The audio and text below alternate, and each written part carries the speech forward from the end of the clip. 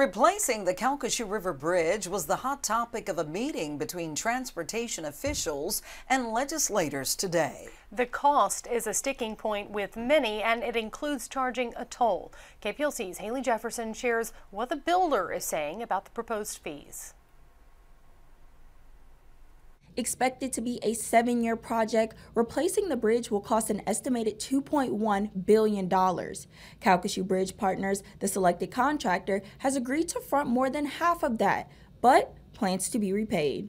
Cal- Calcasieu Bridge Partners will come up with the 1.3 billion. Okay. And they'll finish the project, they'll build the project, they'll get their money back through the collection of tolls. Department of Transportation and Development Secretary Eric Kalivoda addressed the concerns of the I-10 Bridge Improvement Plan at the meeting with the Joint Transportation, Highways, and Public Works Committee at the state capitol. The most controversial topic was the toll rate for large trucks, 1873 for those without a tag. He proposed a business income tax credit for Louisiana truck drivers. Keep in mind the proposal that I put forth about the tax credit is only for Louisiana trucks.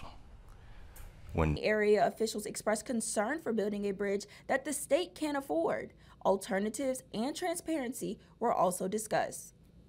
This is the only plan that has ever been considered. We've never looked at other possibilities, really. It's been a one track P3 determined and not varied from at all. We're being forced into this deadline by a single-minded approach that penalizes the citizens once again. Some wonder why the current I-10 bridge can't be rehabilitated. But we have had to do a series of repair projects on it over the years. We cannot keep band-aiding this thing together. So, uh, you know, That's it's going to come wondering. to the point where we're going to have to spend serious money to rehabilitate it. And I'm talking like a hundred or two hundred million dollars to rehabilitate it uh, to keep it in service if we're if we don't have a timeline for when this thing can be replaced. Secretary Kalivoda says a decision has to be made by December 3rd to close the deal with Calcasieu Bridge Partners. In Lake Charles, Haley Jefferson, 7 News. And the rest of the cost not covered by Calcasieu Bridge Partners would have to come from public funding and grants.